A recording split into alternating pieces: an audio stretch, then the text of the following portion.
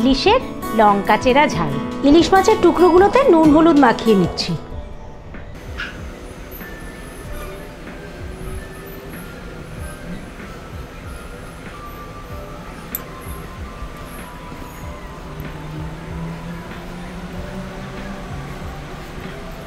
কড়াই গরম করে নিয়েছি।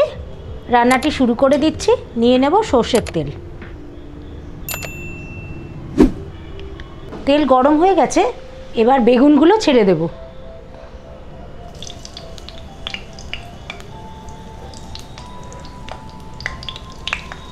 নিয়ে নিচ্ছি নুন, হলুদ গুঁড়ো।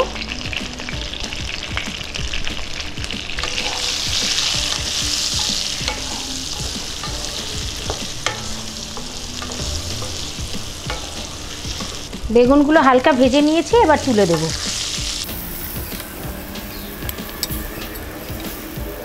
এই তেলেই আমি কালো জিরে ফোড়ন দেব। দিয়ে দিচ্ছি টক দইটা। দেব লঙ্কা গুঁড়ো। সামান্য হলুদ গুঁড়ো নিয়ে নিচ্ছি। আর একটুখানি নুন দেবো। এবার মশলাটা খুব ভালো করে কষিয়ে নেব।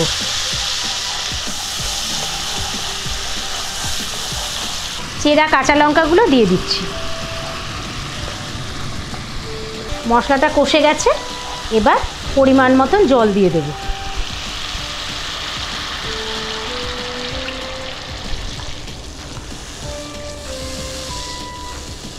ঝোলটা হালকা ফুটে উঠছে, এবার কাঁচা মাছগুলো দিয়ে দিচ্ছি।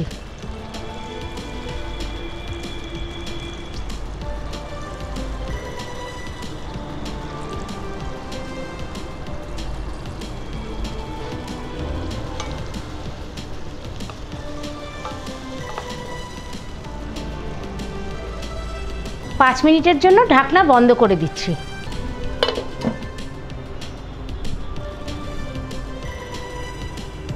পাঁচ মিনিট পরে ঢাকনা খুলে দিচ্ছি। মাছগুলো উল্টে নেব। এবার বেগুনগুলো দিয়ে দিচ্ছি।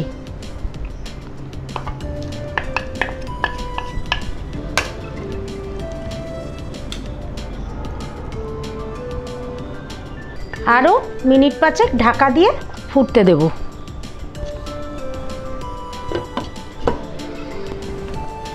আবারও ঢাকনা খুলে দিলাম।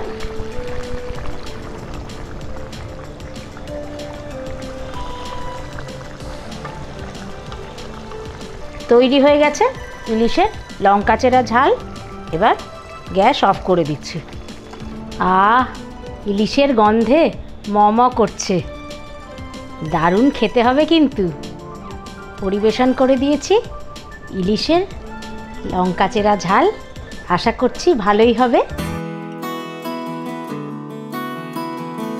আমার এক বাংলাদেশের বন্ধুর থেকে আমি এই রান্নাটি শিখেছি পানি খোলা ইলিশ। পেঁয়াজ কুচিটা নিয়ে নিচ্ছি।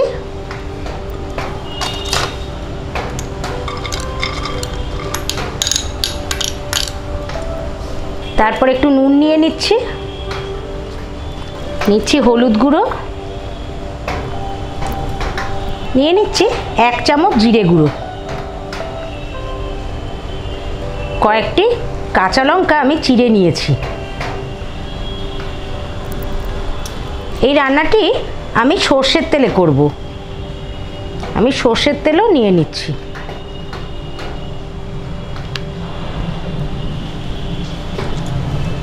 এবারে খুব ভালো করে আমি সব কিছু একসঙ্গে মাখিয়ে নিচ্ছি।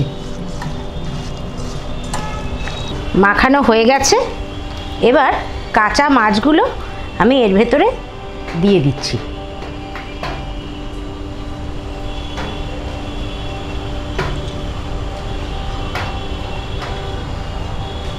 এবং মাছগুলো দিয়ে আবার আমি আরেকটু মেখে নিচ্ছি।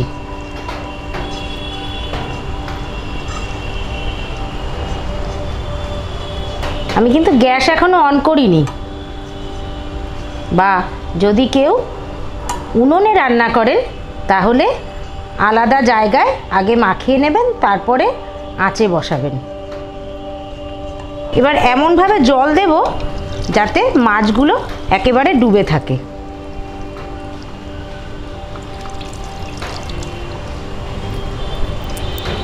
আমি গ্যাস অন করে দিলাম। পানি খোলা ইলিশ, তাই জন্যে জলের মধ্যেই রান্নাটি হবে। আর খেতে কিন্তু খুব সুস্বাদু হয়। ঝোল ফুটতে শুরু করে দিয়েছে, এবার আমি ঢাকনা বন্ধ করে হাই ফ্লেমে পাঁচ মিনিট রাখব।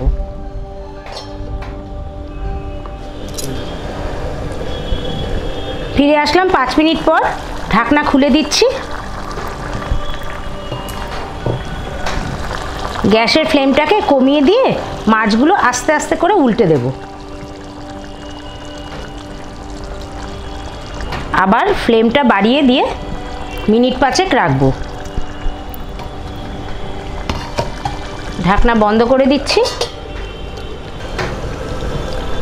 আবারও পাঁচ মিনিট পরে ঢাকনা খুলে দিলাম। ইলিশ মাছ তো খুব তাড়াতাড়ি হয়ে যায়। রান্নাটি কিন্তু হয়ে গেছে। ওপর থেকে গ্যাস বন্ধ করে একটু কাঁচা সর্ষের তেল দিয়ে দেবো।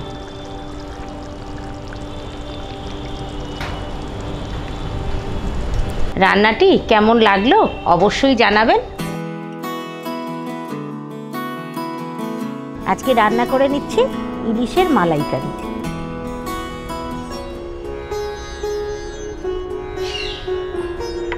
জিরে গুঁড়ো নিয়ে নিলাম, সামান্য হলুদ গুঁড়ো নিলাম আর কাশ্মীরি লঙ্কা গুঁড়ো নিয়েছি।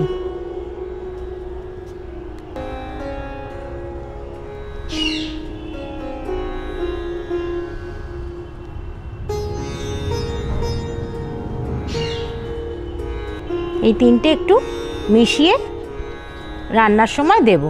সর্ষের তেল দিয়ে দিচ্ছি।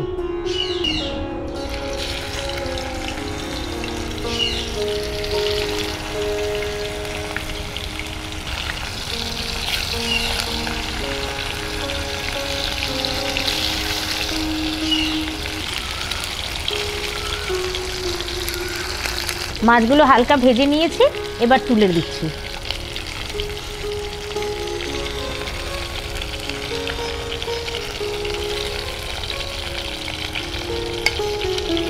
তেজপাতা ফোড়ন দিয়ে দিচ্ছি।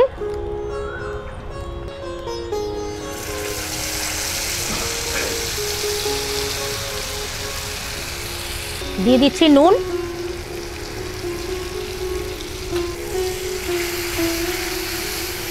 এবার মশলাটা ভালো করে কষিয়ে নেব।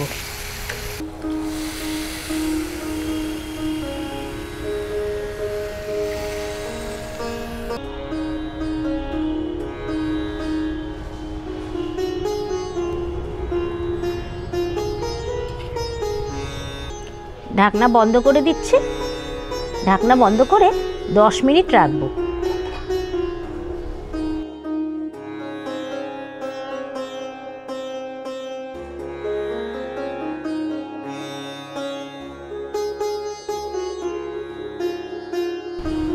ঢাকনা খুলে দিচ্ছি, দশ মিনিট হয়ে গেছে।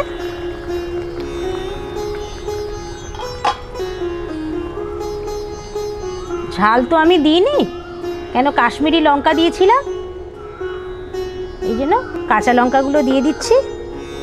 দিয়ে দিচ্ছি নারকেলের দুধটা।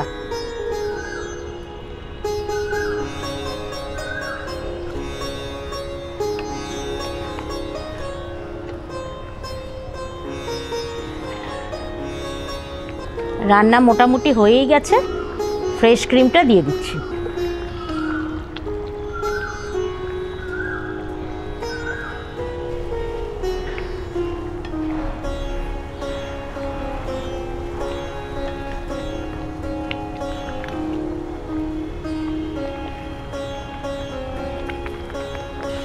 তৈরি হয়ে গেছে ইলিশের মালাইকারি।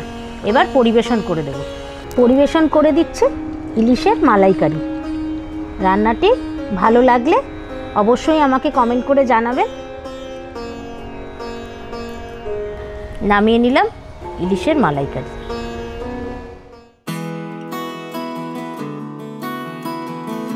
তো আজকে আমি ইলিশ মাছের মাথা দিয়ে করে দেখাবো কুমড়োর ঘন্ট। আমি সর্ষের তেল দিয়ে দিচ্ছি। তেলটা গরম হতে শুরু করে দিয়েছে। এবার একটু নুন দিয়ে দেব। তাতে করে কি হবে? যখন আমি মাছটা ভাজবো, তখন বেশি ছিটকাবে না। এবার মাছের মাথাগুলো ছেড়ে দেব।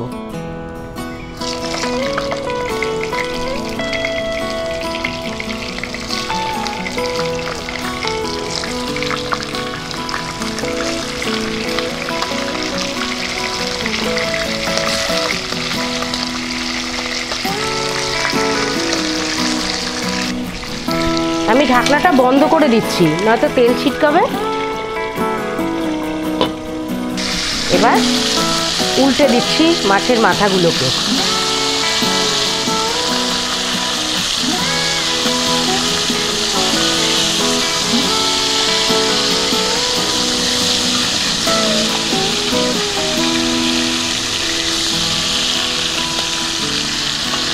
মাছের মাথাগুলোকে বেশ সময় নিয়ে কড়া করে ভাজতে হবে কিন্তু।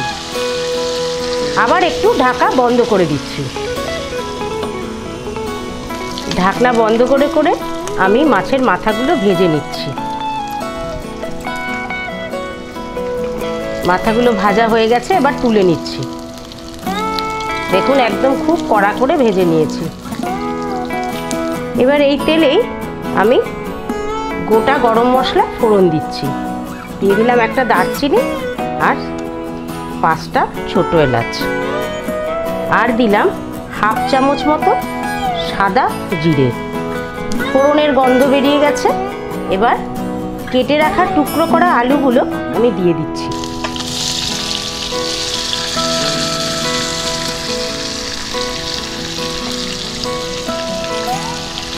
নুন দিচ্ছি।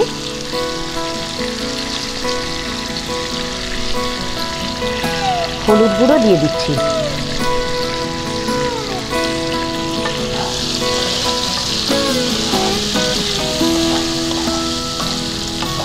এবার আলুটা সামান্য ভাজা ভাজা করে নেব। নুন, হলুদ দিয়ে ভালো করে নাড়াচাড়া করে নিচ্ছি যাতে সব আলুগুলোতে নুন, হলুদ মিশে যায়। এবার আমি কাঁচা কুমড়োগুলো দিয়ে দিচ্ছি।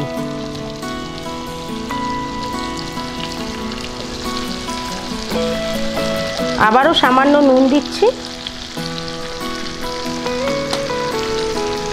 আর একটু হলুদ গুঁড়ো দিচ্ছি।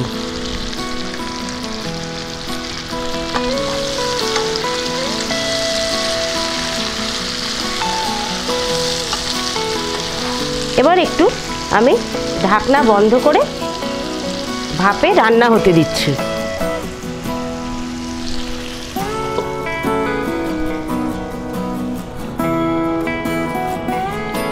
ঢাকনা খুলে দিলাম। এবার আমি জিরে গুঁড়ো নিয়ে নিচ্ছি দেড় চামচ মতন।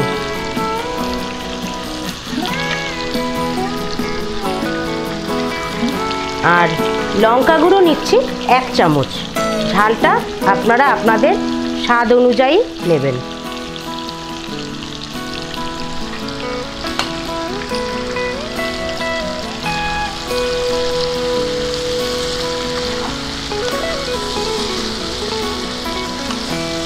মশলাগুলো খুব ভালো করে মিশিয়ে দিচ্ছি আলু আর কুমড়োর মধ্যে। এবার একটু জলের ছিটে দিয়ে দেব।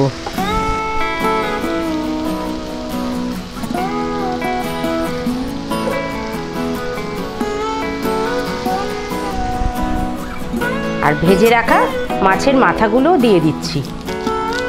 একটু হাত দিয়ে ভেঙে ভেঙে দিচ্ছি।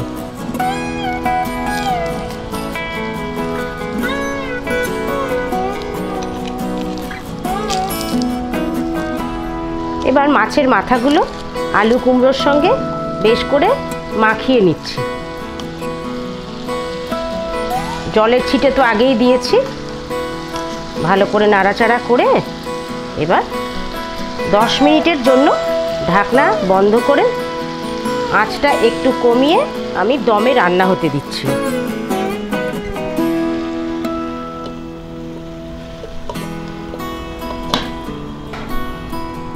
ফিরে আসলাম দশ মিনিট পরে। ঢাকনা খুলে দিচ্ছি।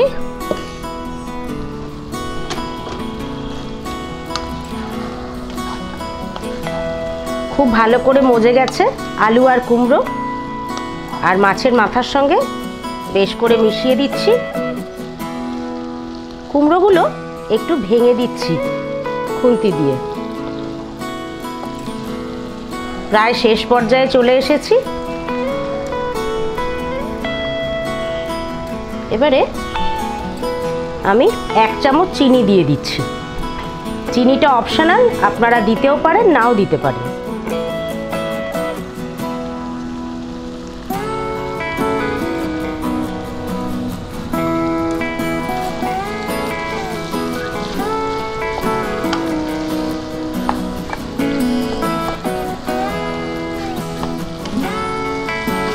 চিনিটা মিশে গেছে।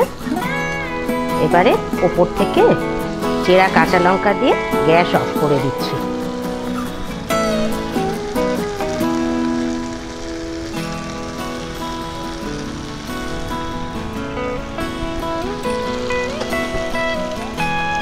তৈরি হয়ে গেছে ইলিশ মাছের মাথা দিয়ে কুমড়োর ঘন্ট। এবার পরিবেশন করে দেব কেমন লাগল রান্নাটি? অবশ্যই কমেন্ট করে জানাবেন। ইলিশের আহা বাহা পদ নিয়ে এসেছি। আমি পদটির নাম দিয়েছি ইলিশ বাসন্তী। মাছগুলোতে আমি নুন হলুদ মাখিয়ে নিচ্ছি।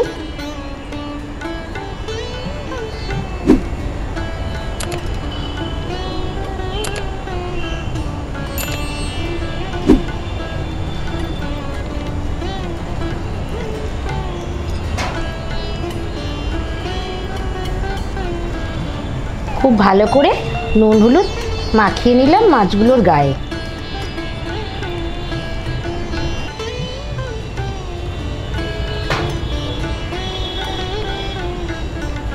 তেলটা ভালো করে গরম করে নেব। তেল গরম হয়ে গেছে, সর্ষের তেলের কাঁচা গন্ধটা উড়ে গেছে। এবার আমি একটু হলুদ গুঁড়ো দিয়ে দিচ্ছি তেলের মধ্যে। এরপরে টক দইটা দিয়ে দিচ্ছি।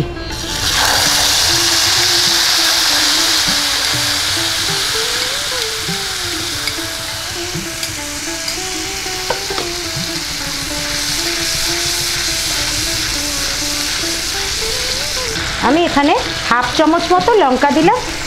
আপনারা ঝালটা আপনাদের স্বাদ অনুযায়ী দেবেন।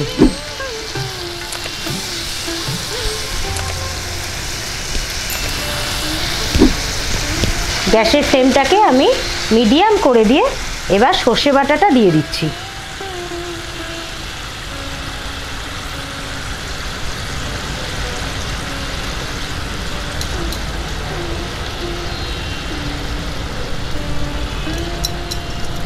এখানে আমি দেড় চামচ সর্ষে বাটা নিয়ে নিয়েছি আর দু চামচ পোস্ত বাটা নিয়ে নিয়েছি।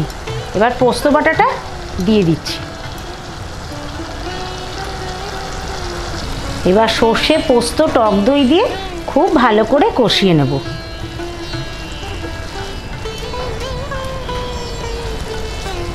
আমি এখানে কাঁচা ইলিশই ব্যবহার করছি। আপনারা চাইলে তেলে হালকা ভেজেও নিতে পারেন। তেল ছেড়ে ছেড়ে আসছে, তার মানে মশলা কষে গেছে। এবার আমি অল্প একটু জল দিয়ে দিচ্ছি। ঝোল ফুটতে শুরু করে দিয়েছে। এবার আমি কাঁচা মাছগুলো, যেগুলো আমি নুন হলুদ মাখিয়ে রেখেছিলাম, সেগুলো আস্তে আস্তে দিয়ে দিচ্ছি।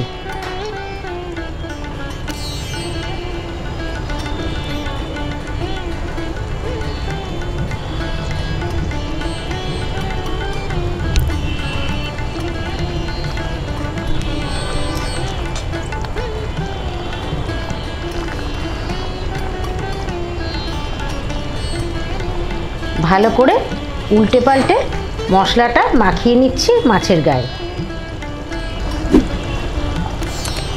এবারে চেরা কাঁচা লঙ্কাগুলো দিয়ে দিচ্ছি। এতে কি হবে? লঙ্কার একটা সুন্দর গন্ধ আছে, সেটা মাছের সঙ্গে মিশে যাবে।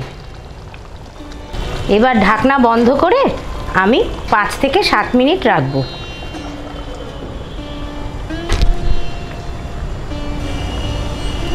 ফিরে আসলাম ঠিক ছ মিনিট পর।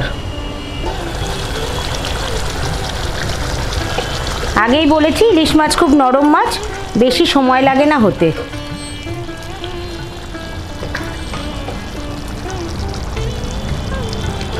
একদম শেষ পর্যায়ে চলে এসছি। এবারে একটু কাঁচা সর্ষের তেল দিয়ে গ্যাস অফ করে দেব।